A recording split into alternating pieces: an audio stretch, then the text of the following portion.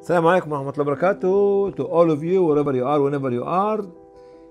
Our relationship with Sheikh Zayed bin Sultan Al Nahyan organization in Abu Dhabi. 2003, a high level delegation came with us to visit Bosnia to look at the projects, particularly the cow project, which actually they sponsored a year before. And the delegation from Emirates was made out of the chairman of the organization, the head of emergency department, the uh, advisor to the chairman, and the head of media department.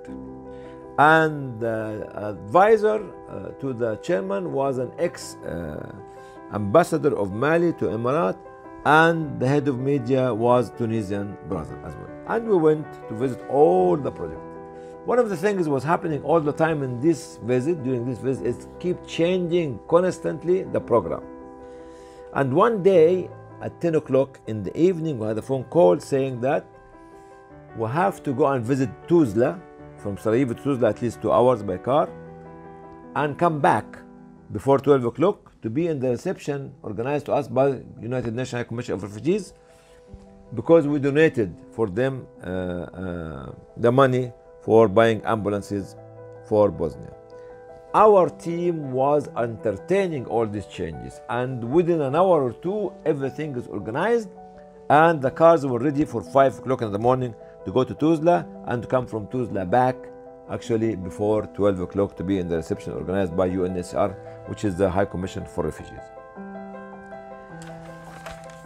And uh, after visiting, after having this reception for us, we went to the office, all of us tried to go there to have lunch. And in the car, before we uh, get out of the car, I was telling them tomorrow, inshallah, we'll have an official visit to the British ambassador uh, in Sarajevo, and uh, because we organized this for us. The advisor to the chairman was furious. How? What is the relationship to us and the British embassy?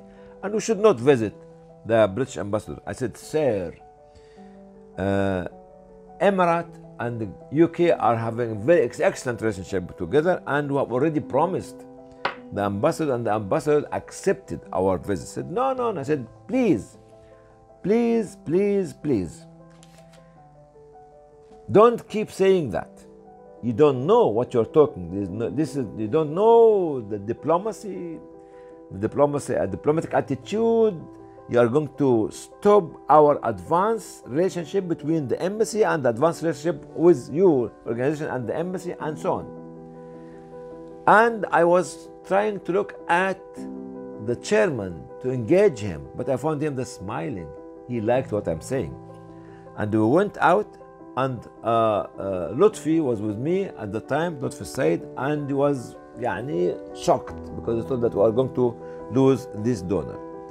Then we went up to the office and I met the man again, uh, this advisor, and they hugged him and they kissed him and they kissed his head and smiled at his face and they left him. You know what he told uh, brother Lutfi when they were discussing this issue privately? He said, I love this man and I respect this man. My anger at that time with him was not for myself, it was for our people who did all this effort. It was for the poor people of Bosnia.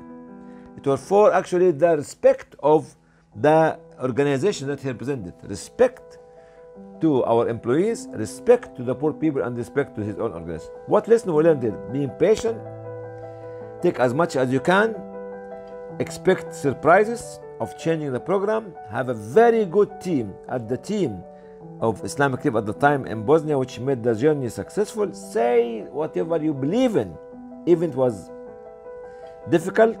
Don't be afraid of losing any donation from anyone, and be be supportive to the issue and the cause of the poor and the needy, and support your colleague no, no matter what the result is. Thank you very much for listening to this uh, incident or this uh, uh,